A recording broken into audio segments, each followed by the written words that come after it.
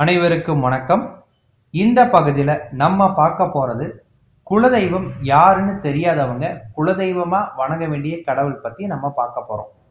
நம்மளோட பெற்றோர்கள் சொல்லாத காரணத்தாலும் இடம் பெயர்ந்து விட்ட காரணத்தாலும் பலர் தங்களோட குலதெய்வம் எது அப்படின்னு தெரியாம தவிப்பாங்க.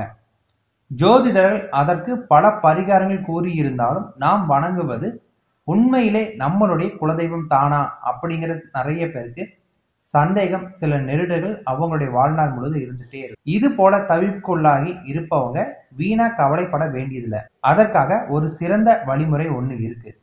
அதாவது திருச்செந்தூர் முருகனை குலதெய்வமா மனசுல ஏற்றுக்கொண்டு வழிபாடு செஞ்சாவே போதுமானது.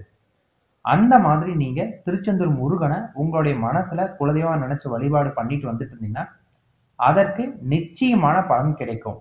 நீங்க உங்க குலதெய்வத்தை நீங்க உங்க குலதெய்வத்தை வழிபாடு பண்ணி அதன் மூலியமா உங்களுக்கு கிடைக்கக்கூடிய பலனை நீங்க திருச்செந்தூர் முருகனை குலதெய்வம் ஏற்றுக்கிட்டு வழிபாடு பண்ணால் நிச்சயம் அதே பலன் கிடைக்க ஆரம்பிக்கும்.